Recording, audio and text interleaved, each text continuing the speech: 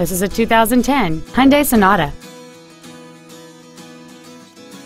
And this vehicle has fewer than 34,000 miles on the odometer. This automobile won't last long at this price. Call and arrange a test drive now.